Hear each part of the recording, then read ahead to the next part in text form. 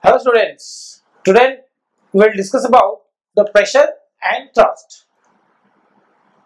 So what is, uh, talk about the pressure of fluid. Suppose that in a container gas is enclosed, then that gas exerts pressure on the walls of the container. Liquid is kept in a container, that liquid also exerts pressure on the walls and we have got atmospheric pressure it is because of the air column present air present in the atmosphere that is called atmospheric pressure. A scalar quantity how that is defined we'll discuss that. First let us mathematically understand what is the pressure. And we'll also discuss about the thrust. Uh, thrust then we'll go to the pressure. So fluid thrust.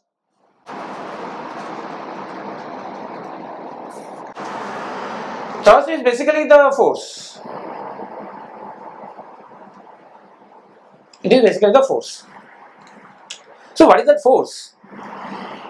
If I take a container and inside the container I take liquid say water and I dip any material inside it irrespective of the shape and size of the object that is uh, immersed whether it is uh, planar or linear or of any dimension or any shape then that immersed part of the substance the liquid exert force on each part of this.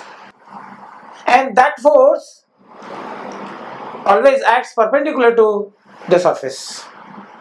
So if I immerse a planar surface like that then the force the thrust should be perpendicular to the surface. If the force cannot be like that it's always perpendicular. The fluid force is always perpendicular to the surface of the object which is immersed whether I keep the object like this or like this or any orientation. Irrespective of the orientation the force will be always perpendicular. So if the object is placed like this force will be in this direction. If I change the orientation of the object like this the force will be in this direction or in this direction. That is always perpendicular to the this force is called as the fluid thrust. Fluid is a common name for uh, solid and uh, liquid and gas so it's a common name for liquid and gas?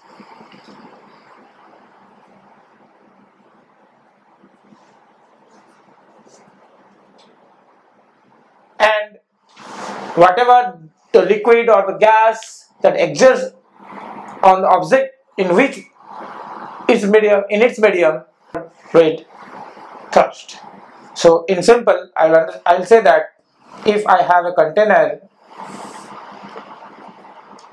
containing some uh, liquid if I place an object like this then the liquid will exert a force that is called thrust always perpendicular to the surface. This force is perpendicular. This force is perpendicular. Always perpendicular if I change the orientation then also this force will be perpendicular. Is always perpendicular. So that force is called as the thrust. So uh, I write the thrust is it is the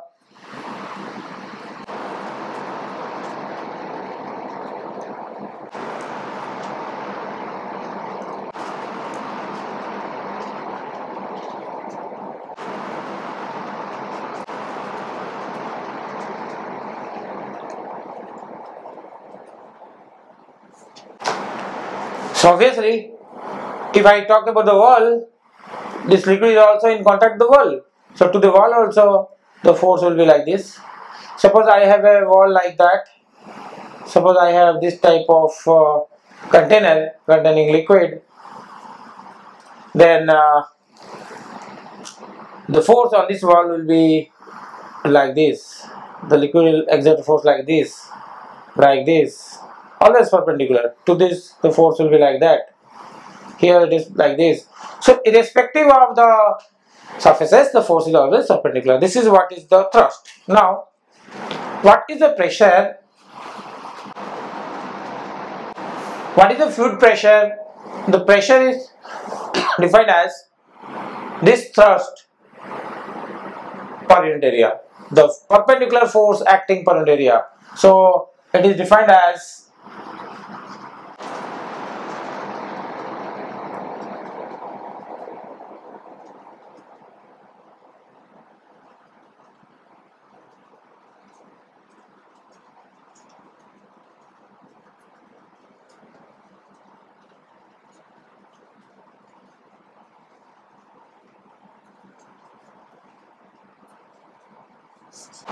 This is the formula. The perpendicular force upon area.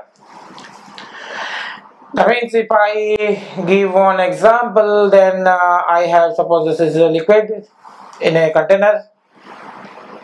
I consider a cross section like that. Then I have suppose this makes an angle theta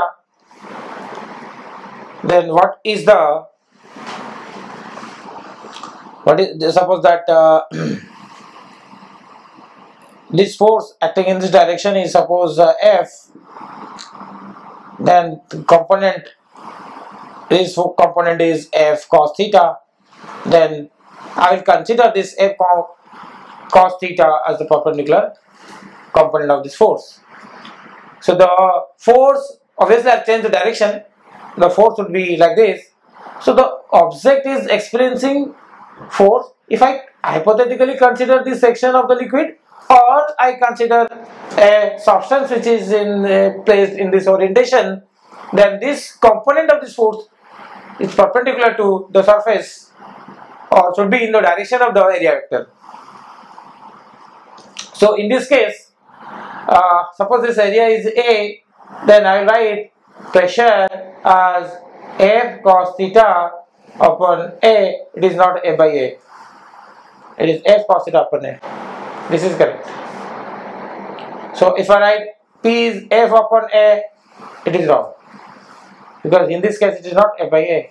It is the component of the force which is perpendicular to the surface. So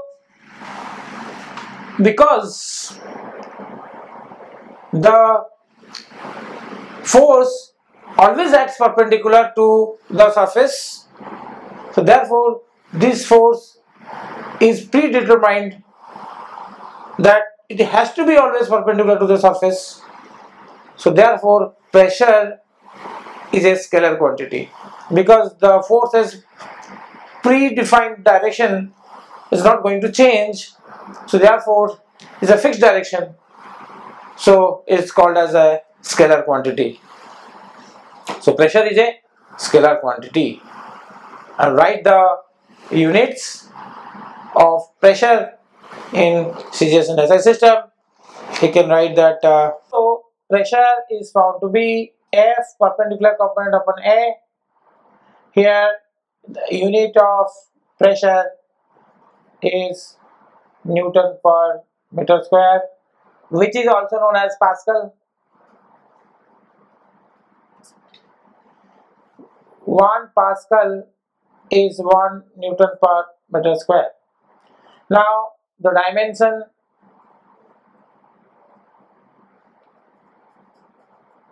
force of an area the force is mlt minus 2 divided by l square this comes out to be ml minus 1 t minus 2. This is the dimension of pressure, force of an area, force dimension is mlt minus 2 divided by l square is ml minus 1 t minus 2. So,